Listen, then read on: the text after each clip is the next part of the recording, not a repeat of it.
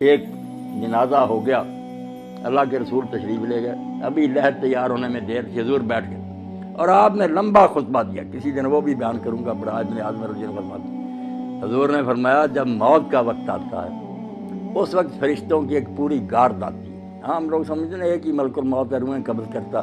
اس سے آگے لوگوں نے پھر ایک ردہ رکھ لیا کہ جب ایک ملک الموت ساری زمین پر اتنے جہان پر گھومتا اور سب کی جانیں نکالتا تو حضور اگر حاضر ناظر ہو جائیں پھر کیا؟ یہ ہمارے دوست کہتے ہیں۔ یہ بات ہی غلط ہے۔ ایک ملک الموت کب جانے قبض کرتا۔ بے شمار فرشتے ہیں اس کے مت وہ انچارج ہے محکمے کا۔ اس کے تحت توفا حمل ملائک بے شمار فرشتے۔ تو اللہ کے رسول نے فرمایا، پورا دستہ ایک انسپیکٹر ہوتا۔ اس کے ماتحت سپاہی ہوتی وہ آ کر اتنی دور بیٹھ جاتے ہیں جہاں تک مردے کی نظر جاتی ہے۔ وہ نہیں قریب آتے، باقی سب سپاہی بیٹھ جاتے ہیں۔ یہ انچارج آتا۔ اگر وہ نیک ہے، اس کے پاس جنت کا خوشبو سے بسا ہوا رومال ہوتا، سنگاتا۔ اسے اللہ کا سلام کہتا اور کہتا، چل اپنے رب کی طرف، تیرا رب تجھ سے خوش ہے، تو اس سے خوش خوشی خوشی اس کی روح روانہ ہو جاتی۔ برا جو ہے نا، ڈرونی شکلیں۔ جیسے ہتکڑیاں ہوتی ہیں پولیس کے پاس جو برا مردہ اس کے لیے جو فرشتے ہی آتے ہیں نا، اس سے اسے پتہ چل جاتا کہ میرا انجام اب کیسا مسکراتے چہروں کی بجائے ڈرونی شکلیں۔ بدبودار رومال غزب آلود نگاہیں وہ چھپتی پھرتی پھر رو نکالتے مار مار۔ اور اسی وقت جب وہ رومال میں اس کو لپیٹتا، دوسرے سپاہی آگے آ جاتے ہیں، اس سے وہ وصول کر لیتے ہیں۔ نیک روح سے لے کر جاتے ہیں۔ اللہ کے رسول صلی اللہ علیہ وسلم جہاں جہاں سے گزرتے ہیں، خوشبو پھیلتی جاتی ہے۔ اور ساری مخلوق کہتی ہے، مرحبا، مبارک ہے تیرا آنا، یار تو نے ہم سب کو نا متر کر۔ اور اگر برا تو بدبو دار بدبو پھیلتی اور سارا جہاں لانت کرتا کہ تو کیسی منحوس روا یا ہمارا دماغ ہی خراب کرے۔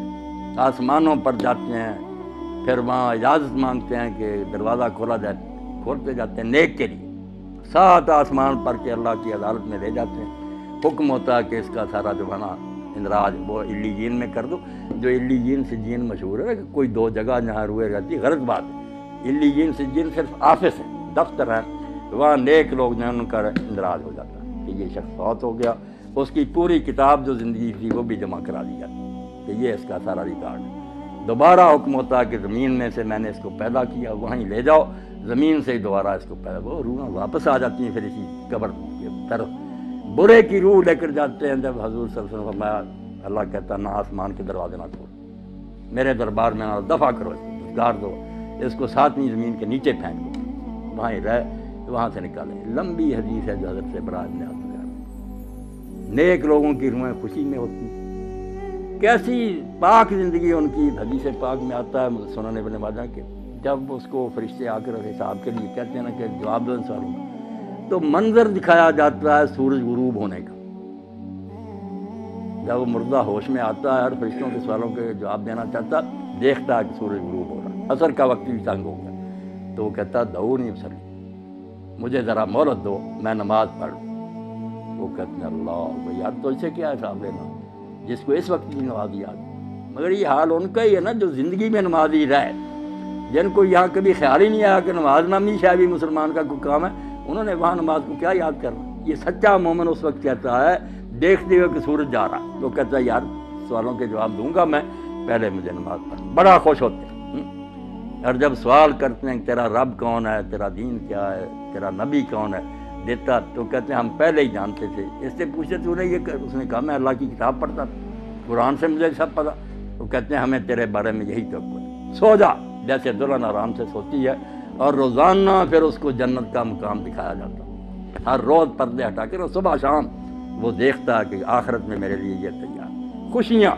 جیسے مہمان خانے میں ریسٹ ہاؤس میں بیٹھے نا، وہاں دیکھتا ہے کہ میرے لیے یہ انعام ہے۔ خوشیاں ہی خوشیاں۔ اور دوسرے کو صبح شام جہنم دکھائی جاتی۔ جیسے پھانسی گھاٹ دکھایا جاتا کہ آ، یہ ہے تیرے لیے، اب پھانسی گڑے میں پڑھنے۔ وہ بیچارہ پہلے ہی مرتا، مرنے سے پہلے روز مرتا ہے کہ یہاں میں جانے والا ہوں۔ اللہ فرماتا ہے نارو یور علیہ خدموں صبح و شام فرعون اور اس کی جماعت جہنم کے آگے سے گزارے جاتے وہ دکھائی جاتی اور یوم القیامت یردون الہ شجر جب قیامت کا دن ہوگا، سچ مچ داخل ہو جائیں۔ یعنی مر، مرنے سے پہلے ہی فرشتوں کے شکلوں اور رویوں سے پتہ چل جاتا کہ میرا اشرف کیا اور بعد میں جو قبر میں جاتے ہی شروع ہو جاتا یا ایک سوال جو عام لوگوں کو پریشان کرتا ہے کہ جب یہاں ہی سوال جواب ہوتے ہیں، لوگوں کو ثواب، عذاب ملنا شروع ہوتا ہے، قیامت میں پھر کیا ہوگا؟ جو کہتے ہیں صاحب کتاب قیامت کو ہونا ہے۔ ادھر آپ بیان کر رہے ہیں کہ سوال جواب ہوتے ہیں اور ثواب عذاب ہوتا یہ بھی آپ لوگ سمجھدار ہیں، سمجھنے کی بات ہے، ورنہ پریشانی ہوتی آپ سارے لوگ واقف ہیں اس سے کہ ایک ہے حوالات۔ کہ زیر تفتیش مجرم وہاں رکھی ہو۔ ایک جوڈیشل جیل ہے کہ مقدمہ چلا، فیصلہ سنایا گیا، پھر جس وارڈ میں جانے کے وہ لائق ہے وہ سزا سنا دی گئی، اس کو بھیج دیا۔ جہنم ہے جوڈیشل جیل۔ پورا مقدمہ سماعت ہو کے کس قسم کا مجرم ہے، کہاں بھیجا جائے، یہ قیامت کے دن ہوگا۔ اور یہ جو ہے، یہ صرف سرسری بات پر، جیسے پاسپورٹ دیکھا، ویزا دیکھا، چلو ادھر اس کو بھیج۔ یہ صرف ایسے ہے کہ یہ مہمان خانے میں بیٹھے ہوئے ہیں۔ خوشیاں منا رہے ہیں کہ آخری دعوت ہمارے لیے یہ ہے، جنت دکھائی جاتی ہے۔ برے ڈر رہے ہیں۔ اب یہاں یہ بھی سوال پیدا ہوتا ہے کہ ساتھ ساتھ ہی کیوں نہیں معاملہ طے ہو جاتا؟ اللہ تعالیٰ کو صابر ابھی فیصلہ کر دے، اس کو جہنم بھیج دے، اس کو جنت۔ یہ کیوں ہے دو مرحلے کے؟ قبر میں صرف سرسری بات پرس ہے، آخرت میں پھر جہنم میں جنت ہے۔ یہ چیزیں آپ چونکہ پڑھے لکھے ہیں اور یہ چیزیں ضرور کی ہیں کہ عقیدہ جو آخرت کا اس کو سمجھا جائے۔ بات اصل میں یہ اور بڑی نازک بات ہے جو قرآن حدیث نے بتائی۔ توبہ توبہ ہم اس کی طرف دھیان نہیں کرتے کہ نیکی بدی وہ نہیں جو آپ نے مرنے تک کی۔ کھاتا آپ کا بند نہیں ہوا آپ مر گئے، کھاتا چلنا یہ جب تک یہ کارخانہ سٹاپ نہیں نہ ہوتا، میزان نہیں لگ سکتی کہ میری نیکیاں کہاں کہاں اپنا اثر دکھایا۔ میری بری مثالوں نے کتنے لوگوں کو مرا دیا۔ یہ جب قیامت آئے گی نا، اس وقت ہوگا کہ ڈاکٹر صاحب نے کتنے لوگوں کو دین کی طرف رغبت دلائی۔ ان کی وجہ سے کتنے لوگ دیندار بنے، انہوں نے اپنی اولاد کو یہ سارا حصہ قیامت کے دن نکلنا۔ اللہ کہتا ہے نقص بما قدم و سارا ہم وہ بھی لکھتے ہیں جو زندگی میں تم نے آگے بھیج دیا اور وہ بھی لکھتے ہیں جو فٹ پرنٹس ہیں آپ کے قدموں کے نشان رہ گئے نا، اور لوگ اس پر چل رہے ہیں۔ اس لیے اللہ کے نبی علیہ السلام کی نیکیوں کا آپ اندازہ کریں۔ یہ جو ہم کہتے ہیں نا، حضور کو یہ سواب پہنچان یہ بہت بعد میں تنگ ذہن والوں نے نکالا۔ رسول اللہ کو پہنچانا کیا، جو نیکی امت کرتی ہے نا، میں نے قرآن پڑھا، نماز پڑھی، روزہ رکھا، ہر ایک امتی کے اس عمل میں سے ایک آپ کے کھاتے میں جا رہا ہے۔ صحابہ کے جا رہا ہے ماموں، انہوں نے دین ہم تک پہنچایا۔ جو نیکی سکھائے گا، جتنے اس کے بعد جہاں تک وہ چلتی رہے گی، اس کو سواب ملے گا۔ یہ ایسا بینک کا کھاتا ہے جو بند نہیں ہوتا۔ اور برائی بھی اگر آپ نے شروع کر دی کہ اچھا بڑا گاؤں تھا، آپ نے کوئی لڑکی اغوا کر رہی کوئی قتل کر لیا دشمنیاں ہو گئیں، آگے خون خرابے قیامت تک چل رہے ہیں تو آپ کو ایسا نہیں ملنا۔ اگر ہٹلر نے جنگ عظیم لگا دیا ساری مہنگائی ہوگی، دنیا مر گئی، تو اس کو سزا مل سکتی تھی دنیا میں۔ کون سی عدالت تھی؟ اس کے پاس کتنی زندگیاں تھیں کہ اس کو بار بار ایک ایک کے بدلے مارا؟ لاکھوں تو انسان مرے اب قیامت کا دن، چونکہ وہاں بار بار زندہ ہونا، بار بار مرنا، یہ عدالت نے سنا، اس کو اتنی بار پھانسی دی ہے۔ یہ بیچارے کہتے ہیں، قانون کے مطابق اس کو دینی تو چاہیے، مگر دے نہیں سکتے۔ وہاں سچ مچ جیت جائے گی۔ تو یہ نیکی اور بدی کا جو لمبا چوڑا تصور نا کہ نیکیاں بھی جہاں جہاں جا رہی ہیں، یہ بھی آپ کے کھاتے میں پڑی۔ اسی لیے اللہ کے رسول اللہ علیہ السلام فرماتے ہیں، آدم کا پہلا بیٹا جس نے اپنے بھائی کو قتل کیا۔ اب جب قتل ہوتا، ایک گناہ اس کے کھاتے میں اور قتل کا پڑتا جاتا کہ تو نے یہ سننا شروع کی۔ اگر یہ بد رسم تو شروع نہ کرتا، تو کیوں انسانوں میں قتل اب جب تک قیامت نہیں آتی، آپ سمجھ جائے کہ کھاتا نہیں پتہ چل سکتا کہ اس کی نیکیاں کتنی بنی برائیاں کتنی بنی اس لیے محتاج رہنا چاہیے کہ میں اپنے طرز عمل سے کہیں اولاد کو گمراہ نہ کر دوں، میرے دوست نہ بگڑ جائیں، میرا خطبہ سننے والے نہ، میں مر جاؤں گا مگر میرے گناہ کی جو گٹھڑی ہے یہ بھاری ہوتی جائے گی۔ کوشش کروں کہ میں اچھی مثال قیام کروں تاکہ اس پر لوگ چلیں، تو میرے مرنے کے بعد بھی وہ سواب مجھے پہنچتا رہے۔ اس لیے اس کے سوا کوئی چارہ نہیں کہ جاتے وقت صرف سرسری کاغذات دیکھے جائیں۔ ان کو مہمان خانے میں ٹھہرا دیا جائے، ان کو حوالات میں بند کر دیا اور انتظار کریں آخری عدالت کا کہ جب آخری عدالت آئے گی، پھر ہاتھ پاؤں بولیں گے، فرشتے گواہی دیں گے، زمین بولے گی، سارا تیرے نیکی بڑی کا کچا چٹھا آ جائے گا۔ جنت دوزخ کا فیصلہ اس وقت ہوگا۔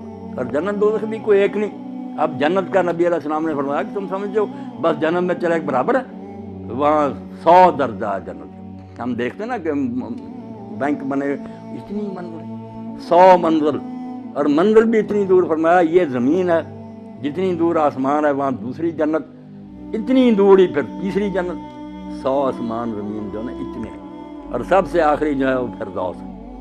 سب سے آخری، جس میں اللہ کے رسول نے فرمایا، اس کی جو چھت ہے اور اللہ کے عرش سے نیچے۔ سب سے اوپر اللہ کا تخت ہے، اس سے اوپر فردوس کی چھت ہے۔ اس فردوس کی چھت کا نام عربی زبان میں الوسیلہ ہے۔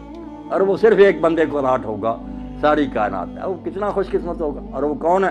خود محمد رسول اللہ صلی اللہ علیہ وسلم فرمایا، وہ ایک آدمی کو ملنا ہے اور امید ہے کہ میں ہی ہوں، مگر میں دعویٰ نہیں کر سکتا تم میرے لیے اذان کے بعد وہ مانگو۔ اس لیے ہم جو ہے، صلی اللہ علیہ وسیلہ میرے لیے وہ مقام اور مرتبہ مانگو۔ ہم کہتے ہیں، آتے محمد علیہ وسیلہ کہ اللہ جو تیرے قریب کا وہ مقام ہے، وہ حضور کو دے۔ تو اس جنت میں بھی بہت مراتب اس لیے جتنی جتنی نیکیاں بنیں گی، کوئی نیچے کی منزل میں رہ جائے گا، کوئی دوسری میں، کوئی سویں میں پہنچے گا۔ اور جہنم میں بھی اسی طرح تب، بہت طبقے ہیں ایک ہی نہیں کہ سارے ایسے ہی مجرم ایک ہی طرح اکٹھے کر لیں نہیں۔ جیسے پھانسی والوں کی کوٹھیاں الگ ہیں، دوسروں کی آسانیاں جہنم میں بھی کسی کے گناہ معمولی ہے، اس کو ہلکا عذاب ہوگا۔ جیسے ابو طالب میں رسول اللہ کے چچا تو نبی علیہ السلام سے جب پوچھا کہ اللہ کے رسول حضرت بات نہیں پوچھا، بھائی تھے ان کے ابو طالب کے، کہ آپ کے چچا نے آپ کی اتنی حمایت کی؟ دشمنوں کے مقابلے میں اس طرح وہ سینہ تان کر کھڑا رہا۔ ہاں؟ حفاظت کرتا آپ کی اس امداد سے اس کو کوئی نفع پہنچا؟ تو حضور نے فرمایا، میری امداد اور حفاظت کی برکت ہے کہ جہنم میں سب سے ہلکا عذاب طالب ہوگا۔ ورنہ اگر نہ ہوتا تو درمیان جہنم کے ہوتا۔ اب میرا ساتھ دینے کی برکت یہ ہے کہ پھر جوتیاں آگ کی ہوں گی، توبہ اس سے بھی دماغ خور رہا ہو۔ باقی جو پھر بہت بڑی جگہوں میں ہوں گے، اللہ اپنا، اللہ کہتا ہے، اس وقت تم سر جھکائے، پھر یہ منت سماجت کرو گے کہ اللہ دوبارہ بھیج۔ تو اللہ نہیں سنے گا پھر۔ اب وقت ہے کہ موت آنے سے پہلے پہلے توبہ کر لو، باز آ دو چھوڑ دو برائیاں، نیک ہو جاؤ۔ پھر کوئی بات نہیں تم سے جتنے جی چاہے گناہ ہوئے۔ نا اللہ معاف